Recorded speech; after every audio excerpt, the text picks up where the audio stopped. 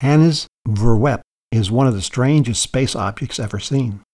A mysterious glowing green blob of gas is floating in space near a spiral galaxy, IC 2497. The object is so huge that it stretches more than 44,000 light years to 136,000 light years from the galaxy's core. It turns out that it's part of a 300,000 light years long tidal tail that wraps around IC 2497. Our current understanding is that this part of the tail was illuminated by a high energy beam created by matter falling into the galaxy's central black hole. Their unmistakable emerald hue is caused by ionized oxygen, which glows green.